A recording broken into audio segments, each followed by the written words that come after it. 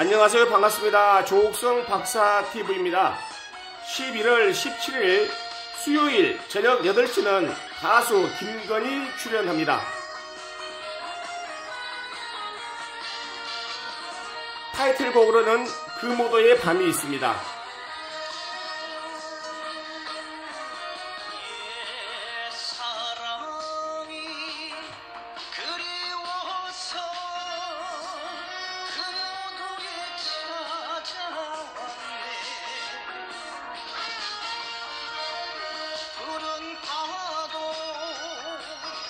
김건 가수는 여수시 동대항 가요제 대상도 받았습니다.